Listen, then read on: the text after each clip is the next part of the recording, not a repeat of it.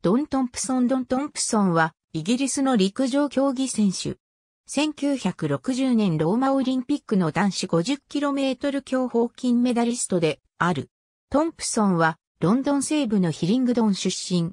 身長が1メートル63と小さな男であった。もともとは、競歩ではなく、長距離ランナーであったが、アキレス腱の故障で競歩に転向した選手であった。1954年には、ロンドンとイギリス南部のブライトンの間を走るレースで2位となり、翌年から8連覇を果たしている。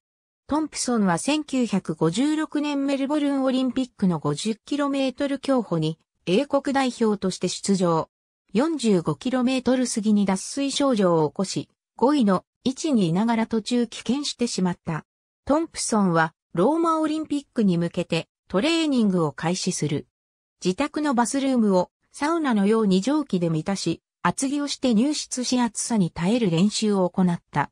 1時間半後、彼は気絶してしまった。その時は熱と湿度の影響だと軽く考えていたが、後に石油ストーブから出る一酸化炭素の影響だと知る。トンプソンの母親は暑さ対策としてサングラスと帽子を勧めた。トンプソンは1960年ローマオリンピックの 50km 競歩に出場を果たす。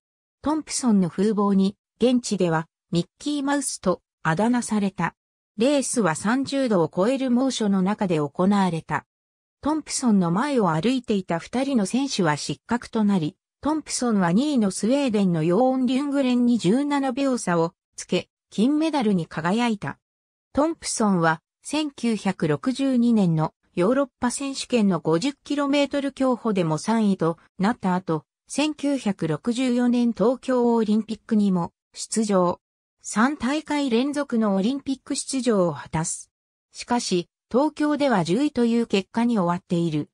トンプソンはその後も保険会社の社員として庭師と仕事を持ちながら、ランナーとして毎朝4時に起床して8マイルを走る生活をしていた。1990年代初めまで150回以上のマラソンに出場を果たした。ありがとうございます。